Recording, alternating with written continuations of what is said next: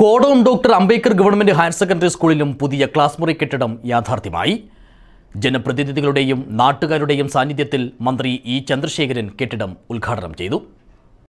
S S കെയുടെ രണ്ടായിരത്തി പത്തൊൻപത് ഇരുപത് വർഷത്തെ ഫണ്ട് ഉപയോഗിച്ചാണ് Kodom doctor Ambedkar government higher secondary സ്കൂളിൽ പുതിയ ക്ലാസ് മുറി കെട്ടിടം നിർമ്മിച്ചത്.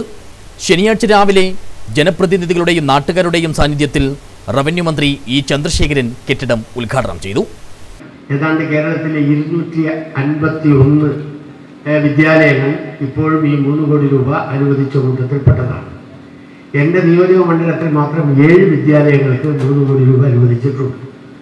അതിൽ അഞ്ചെണ്ണത്തിന്റെ ഏതാണ്ട് നടപടിക്രമങ്ങൾ പൂർത്തീകരിക്കുകയും ഒന്ന് രണ്ടെണ്ണത്തിന്റെ നിർമ്മാണ പാത്രം പൂർത്തീകരിച്ച് ഉദ്ഘാടനം ചെയ്യുകയും ചെയ്തു. അവശേഷിക്കുന്നതിന്റെ നിർമ്മാണ നിർമ്മാണ പ്രവർത്തനം ഞാൻ കഴിഞ്ഞ ദിവസങ്ങളിൽ നടത്തുകയുണ്ടായി.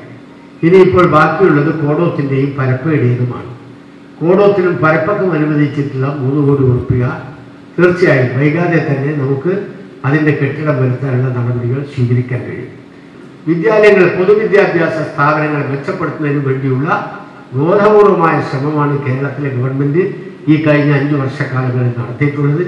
അതിന്റെ ഭാഗമായി ആയിരക്കണക്കിന് കോടി രൂപയുടെ വികസന പ്രവർത്തനമാണ് വിദ്യാലയ അന്തരീക്ഷം വിദ്യാലയങ്ങൾക്ക് വേണ്ടി മാത്രമായി നടപ്പാക്കിയിട്ടുള്ളത് ചടങ്ങിൽ കോടമ്പോളൂർ ഗ്രാമപഞ്ചായത്ത് പ്രസിഡന്റ് പി ശ്രീജ അധ്യക്ഷയായി പരപ്പ ബ്ലോക്ക് പഞ്ചായത്ത് അംഗം പി വി ശ്രീലത പൊതുവിദ്യാഭ്യാസ സംരക്ഷണ യജ്ഞം coordinator P Dileep Kumar Kasaragod D P O P Raveendran Hosdurg E P V Jayaraj panchayat അംഗങ്ങളായ P Kunhikrishnan Bindu Krishnan P T A president M Ganesan രാഷ്ട്രീയ party പ്രതിനിധികളായ T Koran T Krishnan Madhusoodanan Baloor P Bharathan E C Mathew T Babu മുൻ P T A president K V Kelu staff secretary Jancy Kurian എന്നിവർ സംസാരിച്ചു.